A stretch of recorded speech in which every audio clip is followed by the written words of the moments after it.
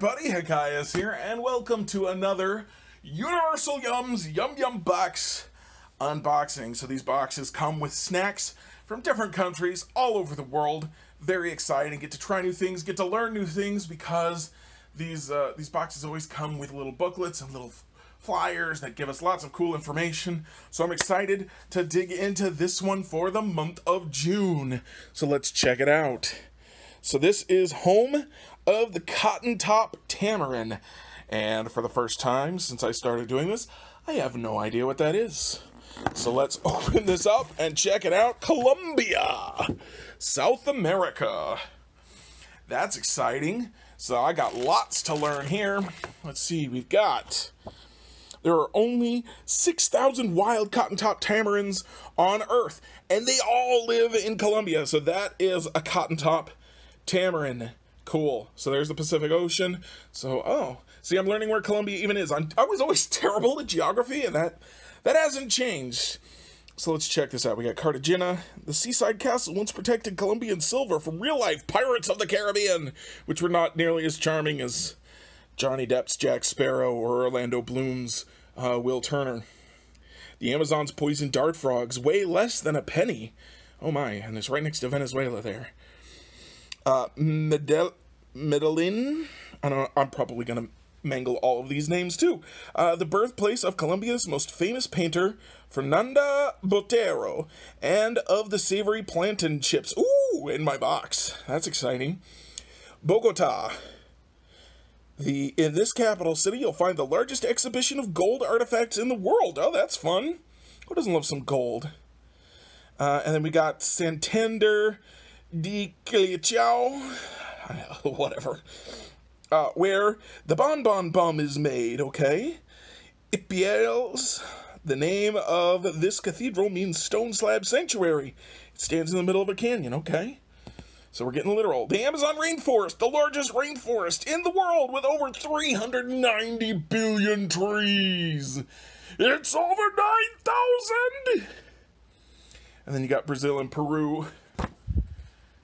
And then we got this stuff on the back. We got this game, Cinco Juegos. You need a box and five coins to play that. And we're not going to do that right now, but we could. You could do it if you got a Universal Yums box. All right, so what do we got here? Got our booklet that I will read in between this segment and the taste test segment. We got some garlic plantain chips, Turbana garlic plantain chips. That's a new one. La Nina, papas con sabor limon. Lemon flavored potato chips. That should be interesting. I'm gonna bet I'm not gonna like that, but we'll try it anyway. We got arepa, queso, mantequilla, cheese and butter flavored. Uh, I guess these are chips or crackers of some sort. Galletas madritas. Con dulces, trocitos de plátano. Sabor de otro mundo. Taste of another world. So we got some galactic monkey snacks. We got another yum bag, which we will explore more during the taste test portion, as per usual. Rizadas mayonnaise flavored chips, which I am even more sure I'm not going to like, but you'll get to watch me eat that. We got some bacon chips, tocineta, lemon flavored, lemon flavored bacon chips. So not just bacon chips. Trululu chocolates. You touch my Trululu. I don't know. Seemed like a thing. A Bianchi bar. Carmelo Plasmani. And uh, since I don't speak Spanish or whatever, is it? It's Spanish or Portuguese. I can never remember which they speak in Colombia. I think it's Spanish. But since I don't speak it, whichever one it is, uh, we will definitely get translations of these as we go through the taste test. We got Trululu Chocolores. I don't, is that the same as the other Trululu? I don't know. I don't know what I did with it. Trululu. Fresitas. These look like some like berry gummies, which sounds very tasty. Dolces Sartidos Dolce con leche, traditional variedades. Six unidades con café, con coco natural, con naranja, con panela, dulce de fruta guayaba. So we got a bunch of different flavors of candies. Six different flavors to be exact. And then we've got Mancoco Bridge. Or Macoco. I'm not sure if I'm supposed to pronounce the trees as an N or something else from Colombina. Two cookies. All right, and that's what's in the box. So, uh, uh, momentarily, we will begin the taste test portion of this month's box, and uh, we'll get right to it. Uh, until then, you know, uh, talk amongst yourselves. All right, and we're back. Uh, I just clapped right next to the microphone. That was probably bad. So, a couple things. Uh, I am currently recording in the middle of a thunderstorm, which is probably a terrible decision. So, if you hear any thunder or loud noises, that's what that is. Second of all, any and all attempts uh, prior to this and also now to pronounce these words, um, really in any of these languages, but um, especially this week, because I feel like when I try to pronounce Spanish words, it maybe sounds like I'm making fun of them, and I'm not. I'm really just trying to pronounce pronounce the words. I just may be terrible at it, uh, and I do apologize if that is the case or if it sounds like I'm mocking it. I promise it's an earnest attempt to actually pronounce the words that are on the, the, the page. Uh, so what you see behind me, this thumb, uh, this is a famous Colombian landmark, El Peñón de Guatapé. It's a rock that weighs over 10 million tons. It's over 656 feet tall. It's in the middle of a flat valley. Here's the image that they use in the guidebook so you can get kind of a better idea of what the um what's the word I'm looking for? What the the flat valley around it looks like.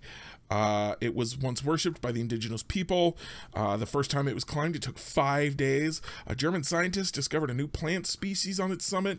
Uh, and so, given the rock's notoriety, the two neighboring towns of Guatape and El Peñol used to fight over it. And the uh, Guatape, Guatape uh, townspeople tried to paint their name on it, but the El Peñon townspeople stopped them.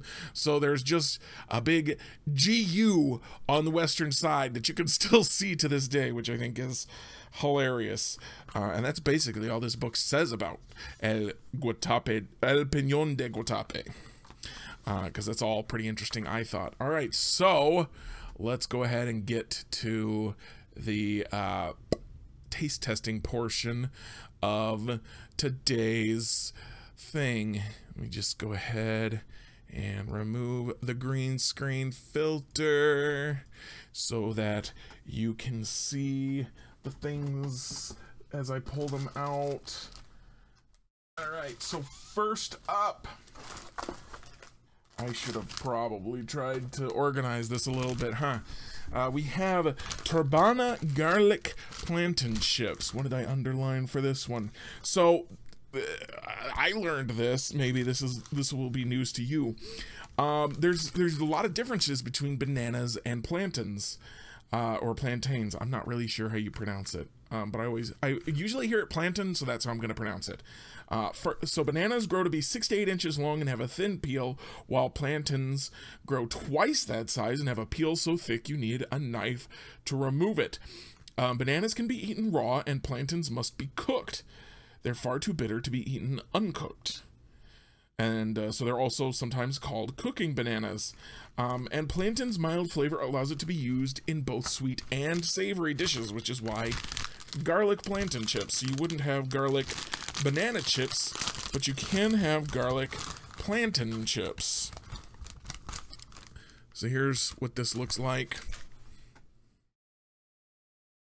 Just looks like a banana chip.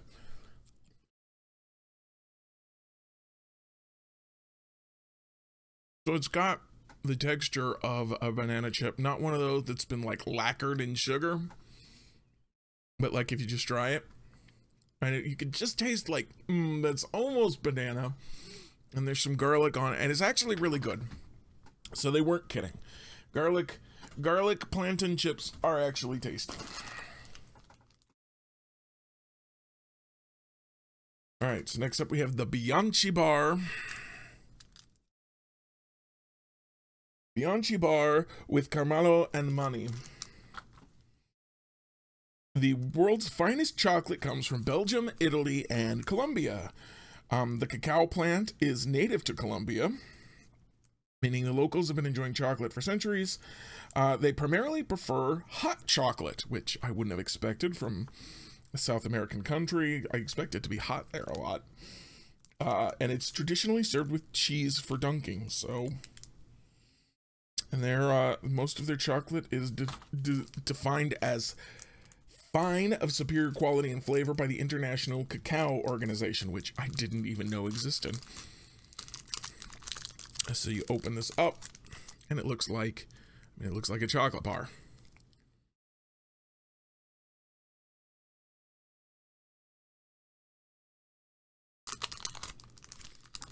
and it tastes like a particularly good chocolate bar. All right. One second. This is this is really chewy.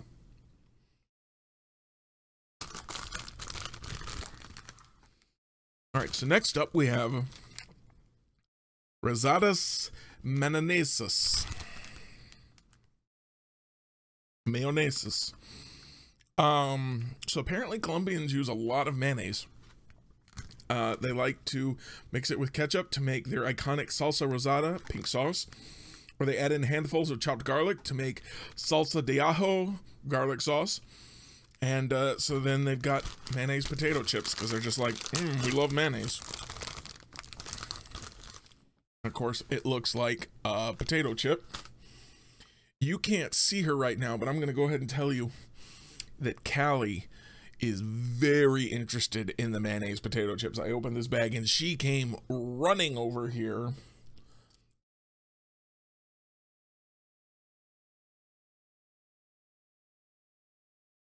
Hmm. I can't actually taste the mayonnaise at all. I don't know if that's just me or what. If I can get Callie, come up here. Come on. Come on. Yep. Come on. Gotta come closer. Oh, you're so close. Come on. There she is. Okay. Callie gets a, a mayonnaise chip. So those are, I mean, they taste like potato chips. That's pretty good. Good girl, Callie. Good girl. All right. Next up. Trululu chocolates. Chocolates. I really got to figure out a better light lighting setup for doing this so that you can see what the heck I'm doing.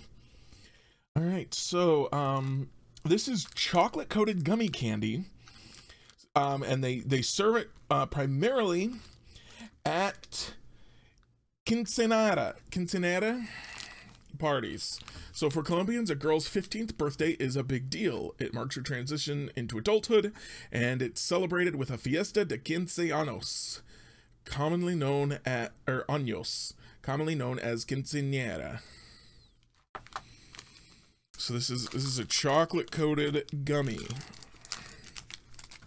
So it looks kind of like Easter candy. This one's pink, so the lighting is really not going to do it any favors. I'm trying to figure out how to shadow it properly. There we go. Um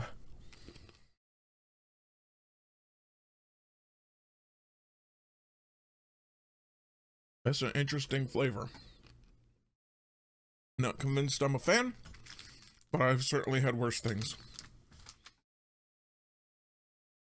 The gummy is the cho I don't like chocolate and fruit mixed together usually. I may try a couple more. Or I may just give them to my mom because I think she'd really like them. Alright, so next up. Yes, Callie, I see you, but you can't have this. She's she's right here. She's very excited about taste testing. She usually doesn't get to sit up here while I'm doing the taste testing part of this. So this is very exciting for her. Max Coco, not not Men Coco, not Ma Coco, Max Coco. Here, I'll just hold it like this. And um, so you think coconuts, you probably think the tropics, but coconuts aren't native to those places. Scientists have actually traced their origins uh, to the other side of the world. They believe the Spanish brought an Asian coconut strain to the Pacific coast of South America, and the Portuguese brought an Indian coconut strain to the Caribbean. So which one grows in Colombia?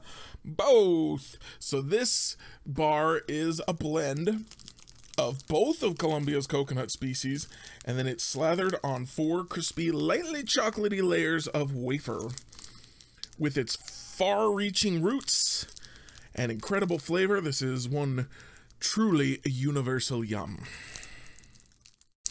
All right, so we got two wafer bars, and it looks, I, I don't know if I'll be able to show this to you properly dripping wafer crumbs everywhere. It looks like a really long wafer cookie like you used to have in preschool that I sometimes, excuse me, still buy at the grocery store because I, I still love wafer cookies.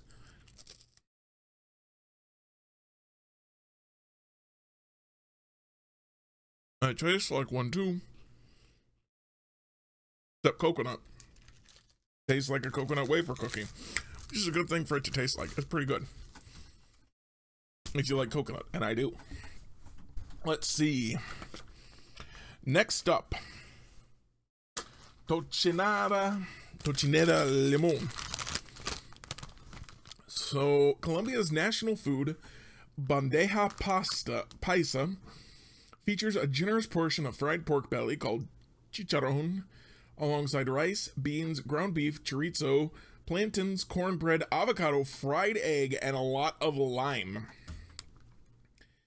So um, this has always been voted the top yum. This is the third time Universal Yums has gone to Colombia.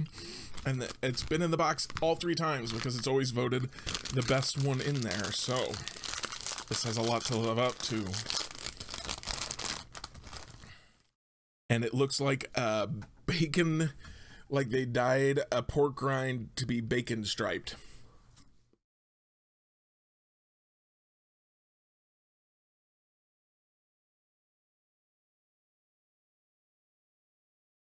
and that's that is um hmm, is an interesting flavor.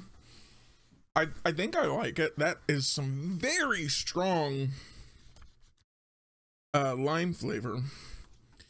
Um it's actually lime flavored bacon chips, not lemon flavored. But I think it works. It's pretty good. Um so this is Galletas Medoritas is next.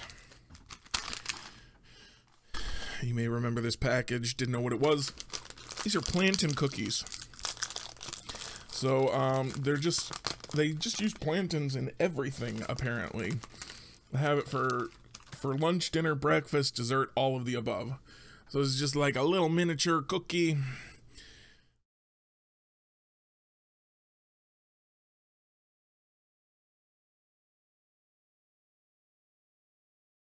It tastes like a banana graham cracker. That's pretty good. All right, so we got next up is toasted arepa. Arepa inspired corn tortilla chips with cheese and butter flavor. So arepas are not tortilla chips. They are thin rounds made from ground corn and then grilled, baked, fried, or steamed. They're kind of like Colombian cornbread. They have a, they also have a place in nearly every Colombian meal. Uh, the, and they Barranquilla hosts hugely popular arepa festivals every year. Arepas in rural regions are strung on necklaces and presented to esteemed community members as medals of honor. That's pretty cool. So this is cheese and cheese and butter flavored arepas chips. And it does it does look like a corn chip, but it's not. It's an arepas chip. Or a arepa chip. Arepa. That's pretty good. Just, just enough flavor. Does not overpower the the the arepa. All right, so we got. What do we got next?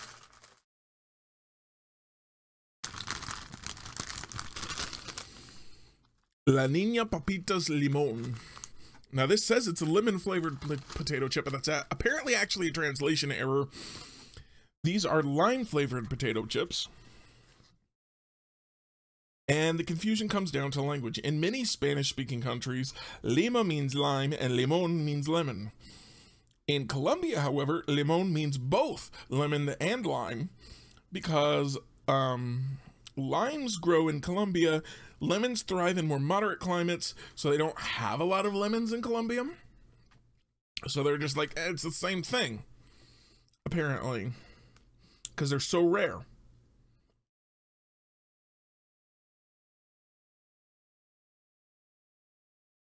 Delicioso is apparently Spanish for delicious.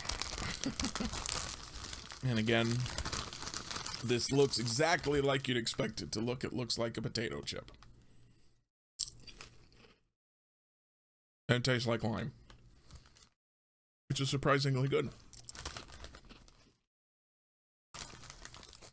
Here you go. Callie also approves.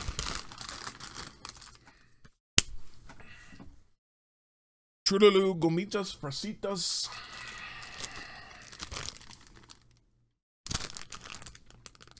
Flying to Colombia, and one of the first things you'll try is this candy, kind of. Colombia's most famous dessert, called fresa con crema, is famously served at roadside stalls surrounding major airports, making it the first taste of Colombia for many visitors. Made with a berrylicious blend of creme fraiche, sweetened condensed milk, and farm fresh strawberries, Fresas con crema isn't just a great post flight snack, it's also the inspiration behind this snack. Excuse me.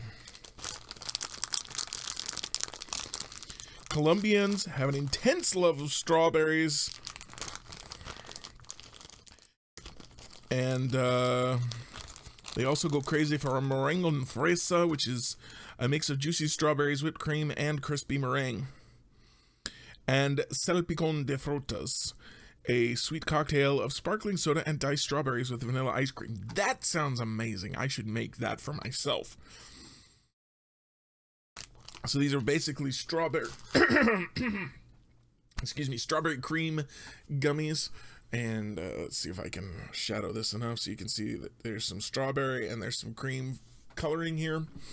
Um, they're squishier than than I would have imagined just looking at them. Mmm. It really does taste like strawberries and cream. Oh, that's good. All right, so next up we have the Caja de Dulces Sortidos. And there's six different candies in here. I'm not going to try all of these right now. Excuse me. Let's see if I can get into this box. But we've got six different flavors. We have milk caramel, coffee, guava, panela, transport sugar more sweetly, more easily, excuse me, Colombians created panela, or solid blocks of unrefined cane sugar. It's a flavor that's slightly sweeter than brown sugar. Wow. And then there's an orange flavor and a coconut flavor.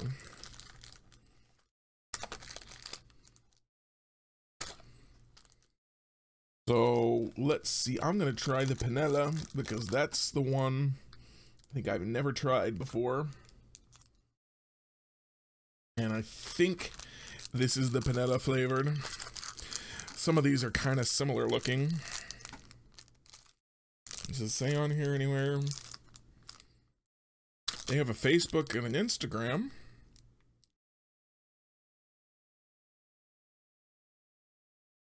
Oh well, let's just dig in. If I can open it. There we go. Oh yeah, this smells like brown sugar. It's got to be the panela.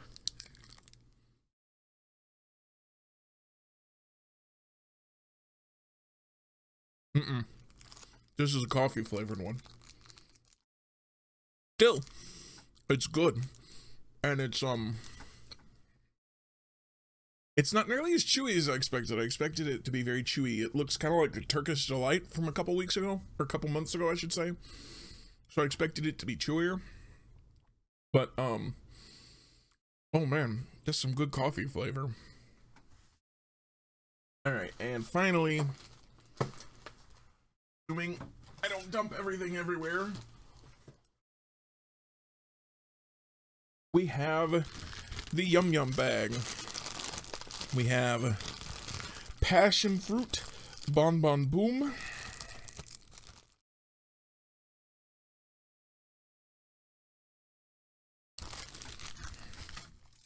It looks like Bon Bon Boom or Bon Bon Bum. I don't. You're not really gonna be able to read that uh, if I hold it really close. Bon Bon Bum, but it's pronounced Bon Bon Boom. So actually, when they export this to America, they change that B U M to a B O O M so that people don't get confused. That's fun. And uh, the boom apparently refers to this is a passion fruit lollipop with a bubblegum center. So this is a it's a yellow and orange lollipop. And it looks like there's seeds in here or maybe candy that's designed to look like seeds. Not going to eat the whole thing now. But yeah, that is some serious passion fruit uh, passion fruit flavor. It's pretty good. All right, and we've got Super Coco Tirudito. So there was a company in, in Colombia in 1948 in the city of Manizales. Back then, the company was called Superman, and it consisted of just eight people making chewing gum and coconut candies. Um, so lots changed. Their company is up to 1,600 employees. Their name is just Super now, and now they also make gummies, mints, and chocolates. But um, this is one of the original candies that they made. They make 24 million of these a month using over 300,000 coconuts just to keep up with the local demand.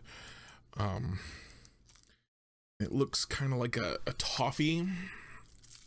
Hold it really close to the camera. Maybe you can see better. Uh, maybe uh, it kind of looks like a pretzel on the camera, but it looks more like a, a, a toffee or like a, uh, what's the word? Oh, those chocolate candies. Tootsie Rolls. It looks kind of like a, a lighter Tootsie Roll.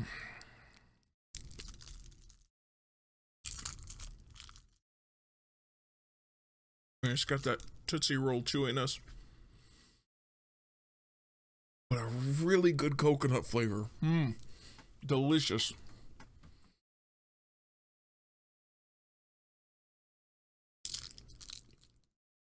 And then we have Super's Cafe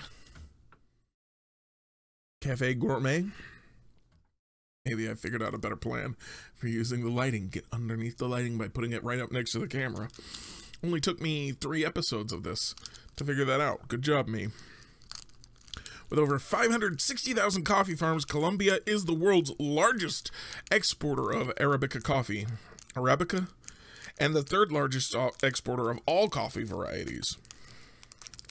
And that doesn't include all the coffee they keep. Uh, they've been they've they drink it morning and night, adults and children.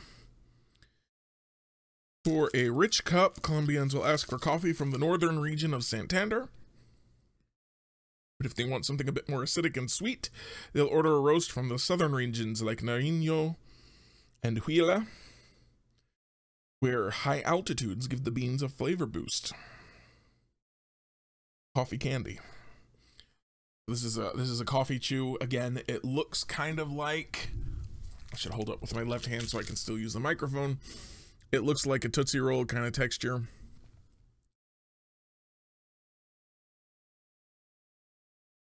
Mmm. And it has that texture and very nice coffee flavor. Maybe the best coffee flavor I've ever had that isn't coffee.